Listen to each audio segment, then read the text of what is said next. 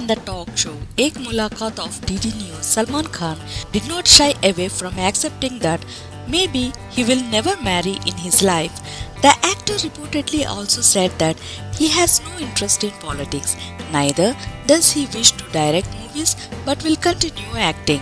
It was in the same talk show in the year 2010 where Deepika Padukone considered Salman is a real and good qualities that can be inspiration for others. In his full-length interview, Salman Khan has freely opened himself and said that he will prefer investing his time for the well-being of children.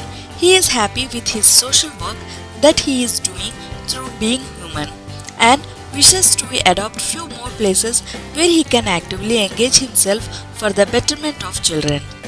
Ek Mulaqat is a weekly talk show on DD News, which aired every Saturday at 9:30 pm, and the repeat telecast is on Sunday at 11:30 pm.